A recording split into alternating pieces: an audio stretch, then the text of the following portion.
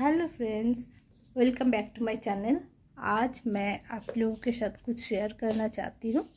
मैं उसकी हल्का सा तैयारी करके रखी। मैं आज राजस्थानी जो चटनी होती है, वो मैं बनाऊँगी। ये चटनी मेरे लिए बहुत आसान रहता है। जब पिज़्ज़ा, पास्ता वगैरह कुछ बनाती हूँ ना, इस चटनी का मैं यूज़ करती हूँ।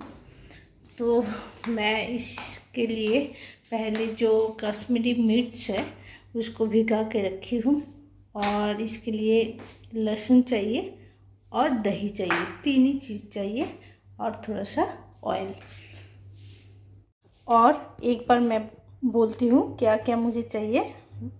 ये जो दही है, दही चाहिए, इतना नहीं चाहिए, एक कटोरा होने से ही हो जाएगा। और ये तीन लहसुन और मैं ये जो कश्मीरी मिर्च मैं सुबह से भिगा के रख दिया, ये तब तक मैं लहसुन को छील लेती हूँ। और यहाँ से एक कटोरा दही लेंगे और ऑयल लेंगे और सॉल्ट लेंगे।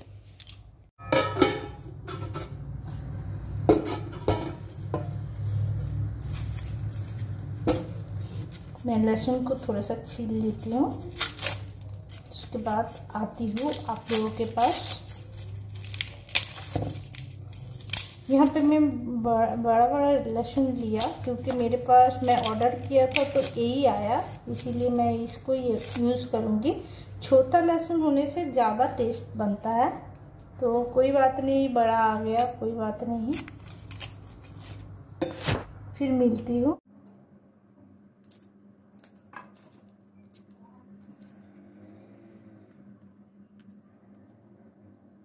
लहसुन, मैं छील लिया पूरा लहसुन को। अब इतना हो गया, इतना लहसुन और इतना मिर्च। तो अभी छील छाल के रख दिया लहसुन को, फिर अब मैं बनाती हूँ। मैं मैं थोड़ा सा पहले लहसुन को पीस लेती हूँ। एक साथ ही ग्राइंड करते, मेरा ये जो मिक्सी है इसमें इसमें अच्छा होता है तो थोड़ा थोड़ा करके पीसती हूँ। पहले लहसुन को मैं पीस लेती हूँ।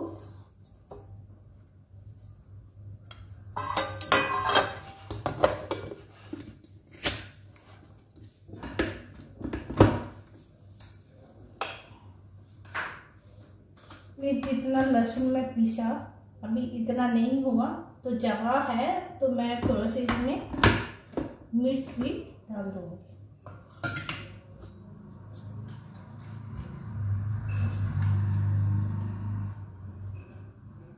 और मैं पहले मिर्च को अच्छी तरह से धो के फिर भिगाया, क्योंकि ये पानी भी मुझे चाहिए।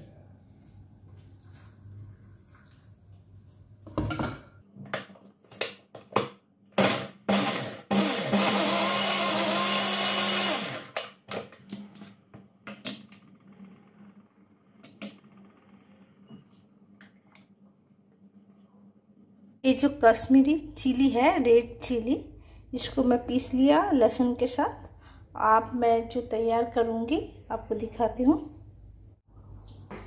ये फ्रंट कैमरे से शूट हुआ है, इसीलिए ऐसे दिख रहा है। मैं सरसों का ऑयल यूज़ किया, क्योंकि हम लोग सरसों का ऑयल ज़्यादा लेते हैं, इसीलिए।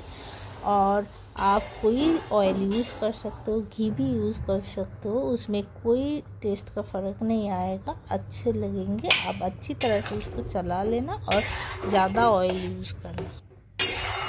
तब तक इसको चलाना है, जब तक इसका पानी ना सूख जाए और नहीं चलाओगे तो इसके जो नीचे है ना, वो नीचे लग जाएगा। इसीलिए इसको चम्मच से अच्छी तरह से चला जाना है, जब तक पानी ना सूख जाए तब तक। देखिए, इनके बाद मैं दूँगी इसमें दही और नमक। पहले नमक दे दूँगी। यहाँ पे नमक डाल दिया। आप स्वाद अनुसार नमक डाल देंगे यहाँ पे। फिर इसको फ्राई करेंगे। दही को हम चम्मच से थोड़ा सा काट लूँगी, हल्का सा।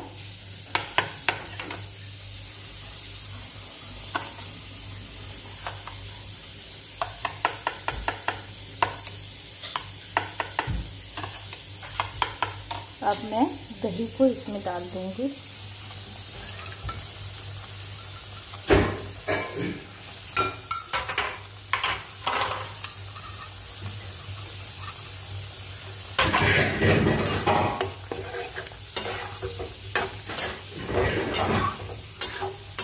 अब जब तक इसको ना है, ना हो जाए, तब तक मैं इसको चलाते जाऊँगी। जब तक मेरा ये ना हो जाए, तेल बाहर निकल के ना आए, तब तक मैं चलाते जाऊँगी। तेल जब तक बाहर निकल के आ जाएगा, तब मैं इसको छोड़ दूँगी। तब तक मेरा हो चुका होगा।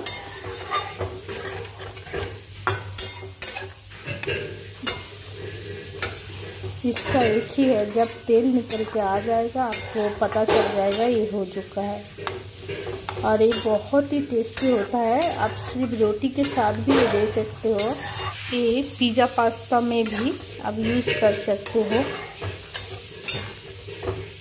रोटी के साथ भी आप यूज़ कर सकते हो। सिर्फ़ आपको एक ही काम करना है। जब तक आपको पता चलेगा उस टाइम जब इसका तेल छोड़ेगा, तब आपको पता चलेगा। और एक अच्छा सा स्मेल निकलेगा, तब आपको पता चल जाएगा ये हो चुका है। अभी ये हो चुके हैं।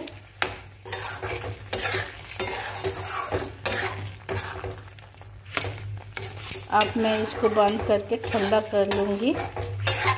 करके मैं बॉटल में भर के रख लूँगी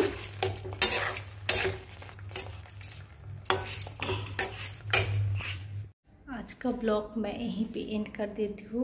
फिर मिलती हूँ दूसरे ब्लॉग में, जो मेरे चैनल पे नया आए हैं। प्लीज़ उसको रिक्वेस्ट करती हूँ। आप सब्सक्राइब करके जाइए और लाइक ज़रूर कीजिए। फिर मिलती हूँ दूसरे ब्लॉग में। Tata bye bye